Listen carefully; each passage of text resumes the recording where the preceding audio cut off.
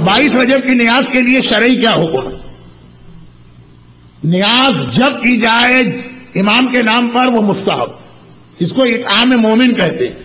تو جیسے بائیس رجب کی نیاز دیا بائیس رجب کی نیاز کہنے کو رہ گئی۔ ورنہ پورا رجب کا مہینہ جو ہے وہ نیاز کا مہینہ بن گیا۔ بائیس تاریخ کو اتنے سارے لوگ نیاز نہیں کر سکتے۔ چنانچہ اگر سب کے یہاں نیاز ہو تو ہم کہیں بھی دل جمعی کے ساتھ بیٹھ کے نہیں کھا سکیں گے، صرف چکھنا پڑے گا۔ ویسے نیاز کے لیے لفظ ہے، چکھنے ہی کا لفظ ہے، لیکن اب کون چکتا وہاں تو بعض اوقات اپنی دولت اور پیسے کا اظہار بھی ہوتا ہے، بعض اوقات خلوص ہوتا ہے کہ مومن ہمارے یہاں سے خوش ہو کے جائے۔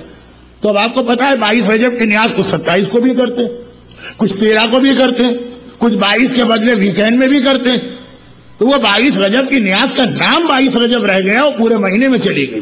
اور وہی شریعت کا اصول ہے کہ امام کے نام سے کبھی بھی کھانا کھلانا بائیس رجب ہو کہ بائیس شابان ہو کہ پہلی رجب ہو، کہ وہ ہمیشہ اس کا ثواب اور فضیلت۔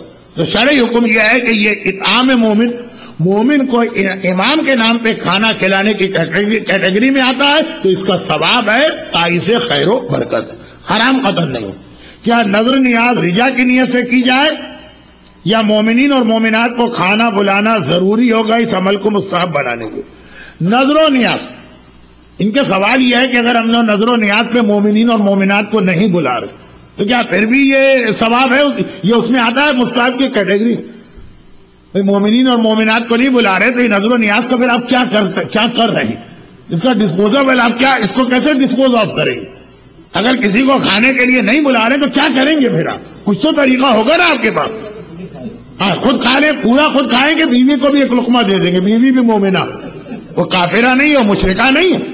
تو وہ جو ایک لفظ ایک تصور ہے کہ مومنین کو بلانے کا مطلب یہ ہوتا ہے باہر سے لوگوں کو بلا نہیں، آپ کے فیملی ممبر انہیں کو اگر آپ نے کھلا دیا، تو موسٹ پروبیبلی انڈیا، پاکستان کے اندر جو ہے وہ تو بیوی سیدانی بھی ہوگی اور مومنہ بھی ہوگی بچے کو آپ نے کھانا کھلایا، یہ خود ایک مستحب چیز ہے، بچے کو کھلا۔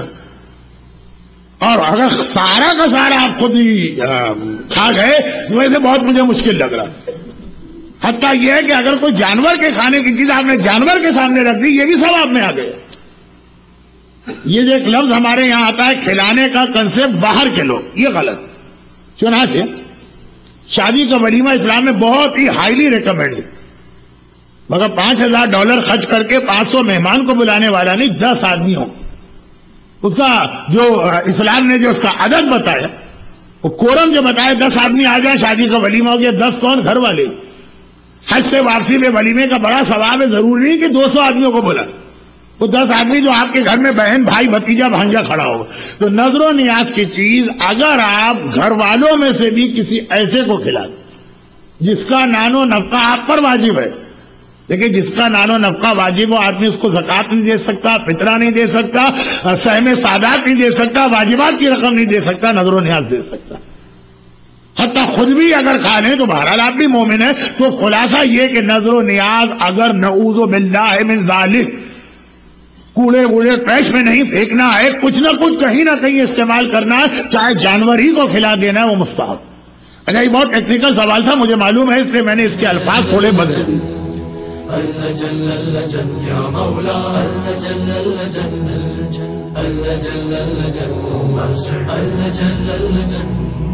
اللجن يا صاحب السماء. اللجن